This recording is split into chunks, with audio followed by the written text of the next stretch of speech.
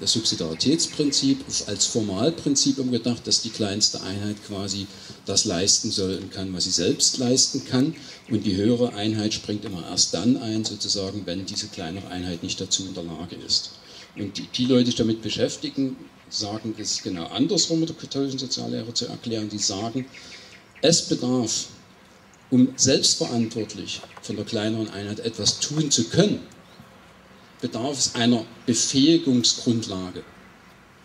Befähigungsgrundlage heißt eine Grundsubstanz, von der aus man heraus sich verantwortbar als kleinere Einheit in der Gesellschaft einbringen kann. Was ist, das ist eine lokale Ökonomie, eine Familie, Individuum ist vollkommen egal.